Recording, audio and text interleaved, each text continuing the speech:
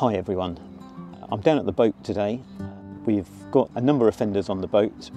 We've had them for about uh, uh, 10, maybe 12 years or so, and a lot of them uh, either you can't pump up anymore, so they need air but you can't pump up, or they just keep losing air. Um, so we've got one just here.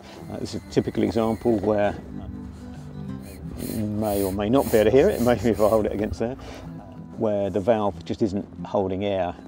Um, these valves are, are, quite simple and they do a good job most of the time, but you do get to a point when uh, if your fender uh, needs some air, then maybe it's time to actually change the valve. So I'm going to show you what you need today just to change the valve on, on this one. So it's a fairly simple process which anyone can do. and the valves are quite easily available. I bought, uh, I bought five valves for our fenders um, and that cost me about £10 or so. There's various places you can buy them. Um, I bought ours from a place called Sheridan Marine in the UK and they were uh, they, they were about £10 or so for five valves, so not expensive at all. So what I'm going to do is I'm going to show you what you need and uh, how easy it is to change the valves. So the things that you need to change the valve are th these are the new valves, uh, so that's the new valve there. Um, this is actually quite important. It's just a three millimeter screw or uh, bolt. Um, this one actually is about uh, 25 millimeters long or so. We needed one that long to actually go right down. Uh, if the valve uh, isn't uh, right, stuck right down into the, the fender, you don't, you don't need it that long. This is actually an adapter which I bought at the same time. Um, that is so that you can actually pump the valves up. A lot of people get confused as to what you need to, to pump the valves up. Um, this basically is just a three mil thread um, going onto a standard Schrader valve. And the other thing you need is just a, a pair of pliers.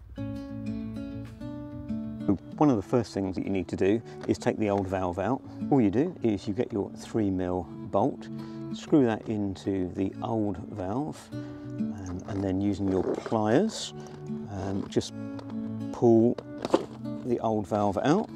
So that's the old valve, and uh, that just leaves the, the fender ready for your new valve.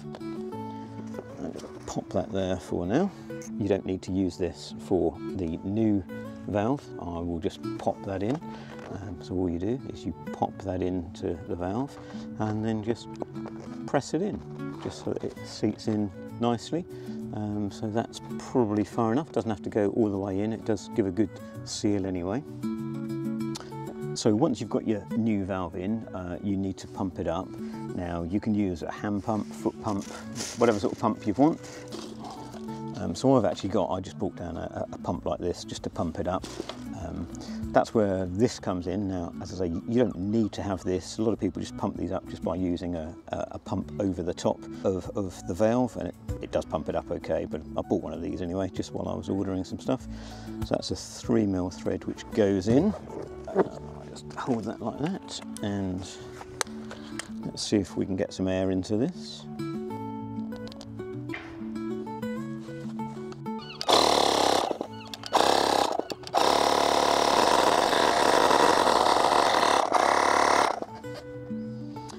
and that's it. That's that's all you need to do. Um, just take that off.